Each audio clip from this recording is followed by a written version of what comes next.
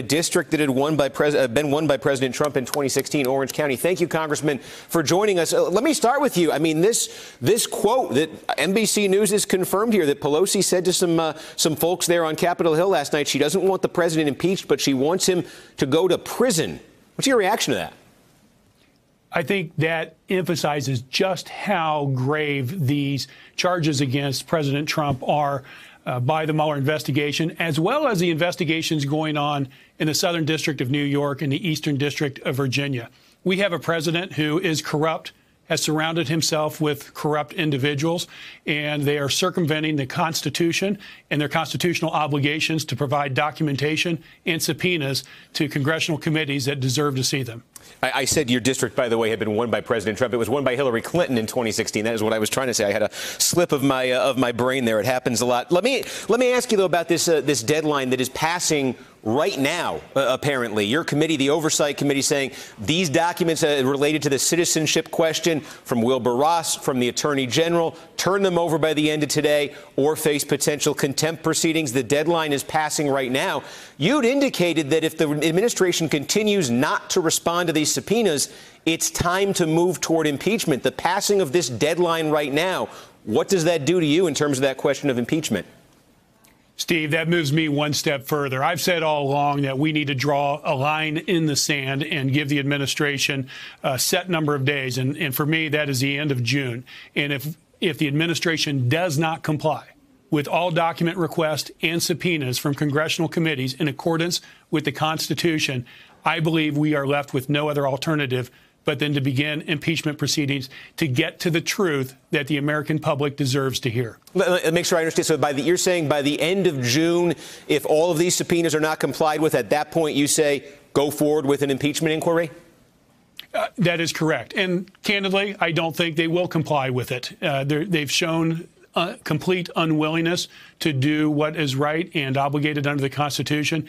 And I think if we want to get to the truth, uh, we're going to have to take that action. I do agree with Speaker Pelosi and the leadership that we should continue to use other uh, uh, tools in our toolkit, including uh, going through the court system, the judicial system. Uh, but that is a much longer process. And to keep the ball rolling, to get the truth to the American public, uh, we have to look at impeachment proceedings if they continue to take this uh, unwillingness to provide what they're obligated to do. Is there any significance when you say the end of June? Is there any significance in terms of a longer term timetable there? Why you would pick that that point on the calendar? I simply said 30 days, and it's been a that would be approximately 30 days for me. And I, I, believe with this administration that if you don't give a hard date for compliance, uh, that you will continue to be stonewalled. It's one thing to slow walk information and slow walk witnesses. It's another thing to say we are not going to comply with the Constitution. You know, look, the president just got back from England, and I know he is intrigued with a monarchy, uh, but we don't have a monarchy. We fought uh, over 200 years ago to have a democracy that is bound by the Constitution, and we need this president to do what he uh, said in his oath to uphold the Constitution. Do you, do you have any concern? I, I, guess couple questions. Number one, that, that line from the speaker there apparently about saying hey, Trump should go to prison, it shouldn't be impeachment. It, it sounds like she might be making a case there to Democrats uh, that, that, basically if you go forward with impeachment, you might be complicating any effort that, that might take place from authorities to prosecute Trump once he leaves office. Do you think there is anything to that line of argument?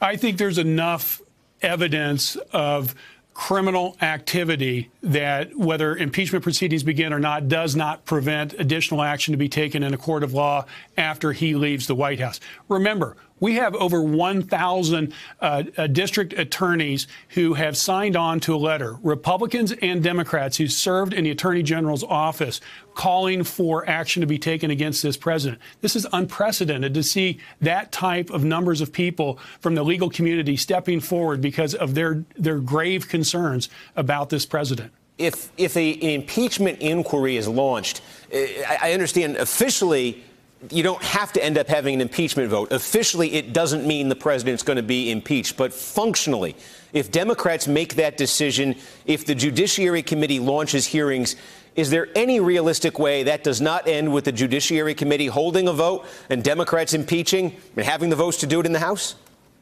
You are correct that generally, when the inquiry has been begun in the past, it has led to uh, a call for impeachment. Uh, but every case has to stand on its own merits.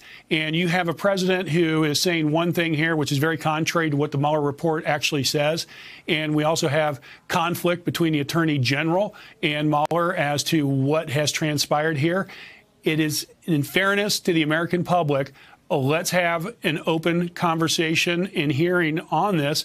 And if the president would comply with these document requests and these subpoenas, we could get to the truth without having to do an impeachment proceeding. Um, okay, so you're, you're, saying you would call for this the end of June, basically start of July. How long of a process do you anticipate here? Because if you look at the last two impeachments that we've seen in this country, Clinton in the 90s, Nixon in the 70s, you had two very different timetables that were at work there. In the Clinton one, it was basically around Thanksgiving time, 98, to the early part of February 99. It was very condensed. It was very truncated. It was a couple months. The Nixon one, you were talking, you know, fall of 73 to the summer of 74 when his presidency ended. Are you looking at, do you expect it would be more of a Nixon timeline in terms of how long these proceedings would go for, or more of a Clinton timeline?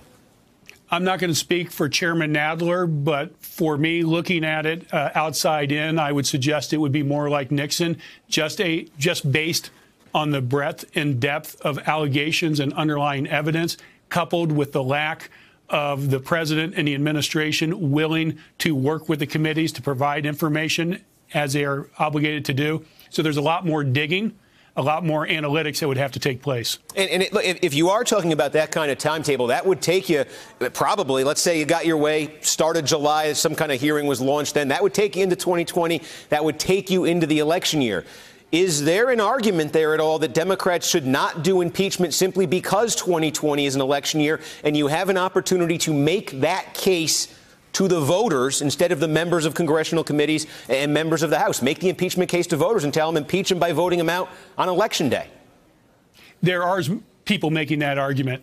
I can only look at it from my perspective, and I, I, I represent the constituents of Orange County. I took an oath to the Constitution and I serve on a committee that is supposed to provide oversight of the administration, again, pursuant to the Constitution of the United States of America.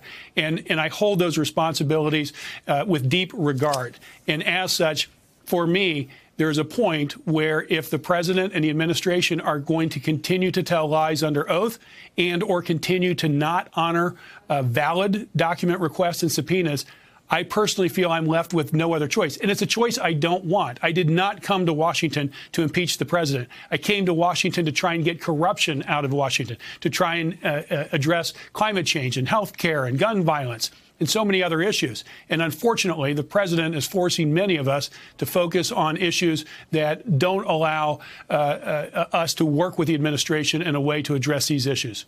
Okay. Harley Rouda, Democrat from uh, California. Thank you for taking a few minutes. Thanks, we appreciate it. And we'd like to have you back here at the end of June. Ask you about uh, where you, what you think of impeachment then, see if anything has changed by then. So consider that an open invitation. Appreciate that. Uh, Thanks. Hello, YouTubers. If you're watching this, it means you've checked out our channel, so thank you. Now do me a favor, subscribe by clicking on that button down there. Click on any of the videos to watch the latest interviews and highlights from MTP Daily and MSNBC. You can get more Meet the Press content every morning in the First Read newsletter. If you're tired of content that you don't know anything about where it came from, you don't have to have that problem with us. NBC News, MSNBC, MTP, and the Meet the Press mindset right here for you on YouTube. Subscribe now.